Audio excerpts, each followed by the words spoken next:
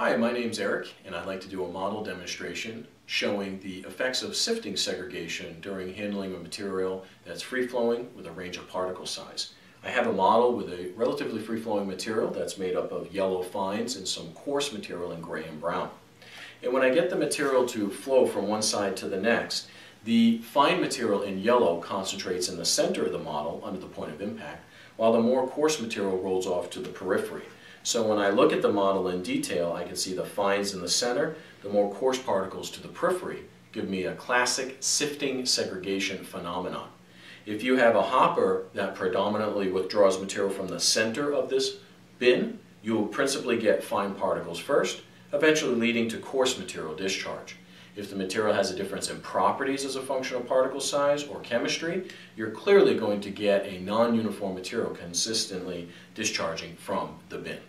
I had just shown you that demonstration model of sifting segregation. If you're interested in obtaining one of these very informative segregation models, please contact us by email or phone. Provide your complete email uh, and contact information, your mailing address, and we'd be happy to send one of these models out to you.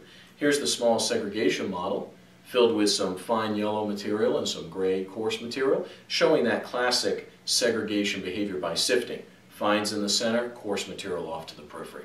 Thank you very much.